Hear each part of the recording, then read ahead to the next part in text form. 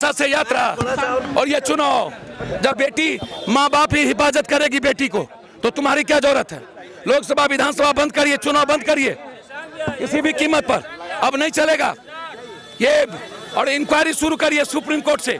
बत्तीस हज़ार टन कहाँ, क्यों सर गया? और प्याज कहाँ है? ये दलाल लोग बैठे हैं। नहीं चलेगा। आम जनता जो जो शादी गरीबी रेखा के नीचे जिसका शादी होगा, दस के प्याज हम देंगे। हर कीमत जो है है? है वो मुनाफाखोर और सरकार। इंक्वायरी होनी चाहिए।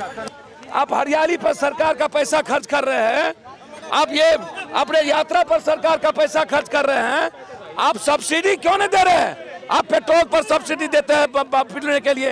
एक तरफ़ पूरा देश की बेटी सुरक्षा को लेकर सड़कों पर है और दूसरे तरफ़ महँगाई को लेकर पूरा परेशान कर दिए। पप्पू यादव ने निर्णय लिया है कि बिलो ऑफ़ पॉवर्टी लाइन जो गरीबी रेखा के नीचे है तीन लाख से जिसको इनकम अब सोर्स कम होगा उसके घर में शादी होगी।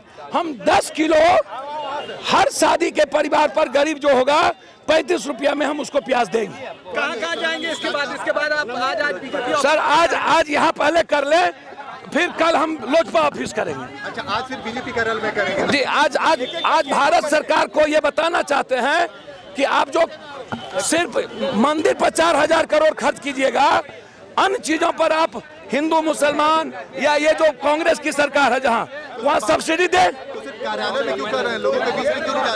भैया लोग हम सब जगह दे रहे हैं।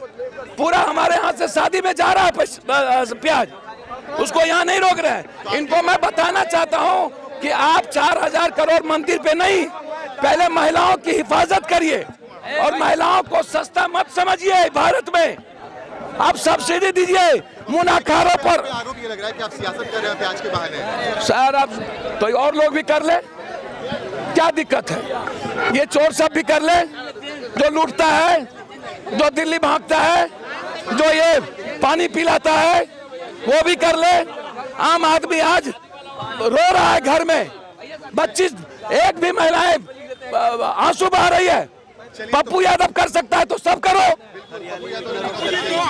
बर्बाद कर दिए, वैसे ही बेटी, महिलाएँ देश में सुरक्षित नहीं है, रो रही है। प्याज पर सब्सिडी दो मुनाफाखोरों को बेनिफिट मत पहुंचाओ। ये पूंजीपतियों को बेनिफिट पहुँचाने के लिए सब्सिडी नहीं दे रही है इंक्वायरी चाहता हूँ सुप्रीम कोर्ट के जज से कि प्याज मुनाफाखोर सर और सरकार, दलाल जब पप्पू यादव पैंतीस रुपया किलो गरीब आदमी को दे सकता है, हर गरीब आदमी को जहाँ शादी होगी, हम दस किलो प्याज देंगे पैंतीस रुपये में। हर गरीब आदमी को, अमीर को नहीं।